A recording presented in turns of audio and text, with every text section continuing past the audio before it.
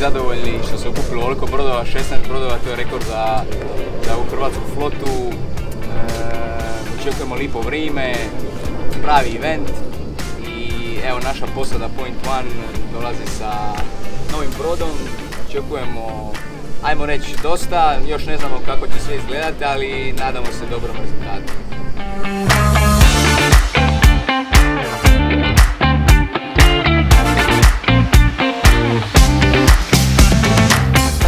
Ja sam Kolja Dumanić, kormilar broda Zem. Mi smo novi u floti Međe sa 24, imamo prvu regatu. U posadi smo sa Lamjano Jurčec, Karlom Pokrajčićem i Aleksandrom Kovačević. U Korintijan grupi smo, prvo jedrenjena je, nismo previše trenirali, nemamo pretjerana očekivanja, e, nadamo se dobrim uvjetima i da će proći sve ok.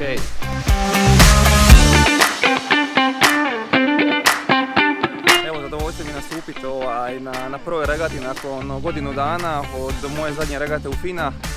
Tako da, evo, zbilja se veselim, bit će na novo iskustvo, ima dosta brodova, 16 brodova na startnoj listi i mi da će biti e, dobra prognoza, naredna dva dana, vjerujem da je ovo prva regata nakon malo veće pauze za svih, tako da vjerujem da će biti e, dobro na moru i veselim se u svakom slučaju.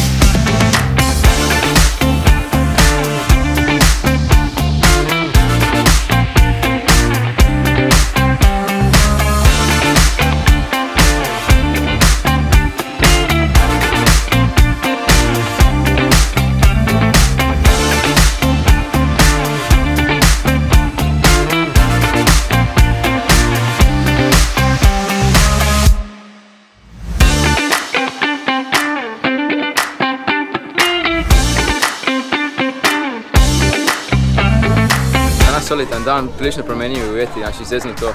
Negdje nas je malo posjećilo, a negdje smo jednostavno eto, na neke sitnice izvukli, a sve u svemu dobro nam je išlo.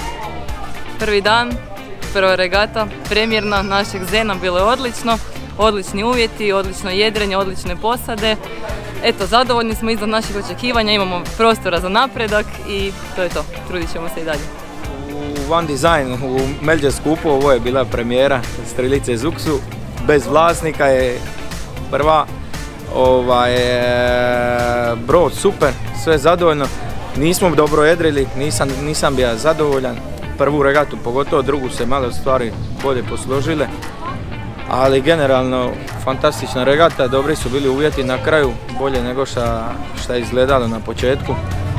I sve u svemu, eto, opet rekordan broj hrvatskih posada, znači da klasa se razvija, da raste.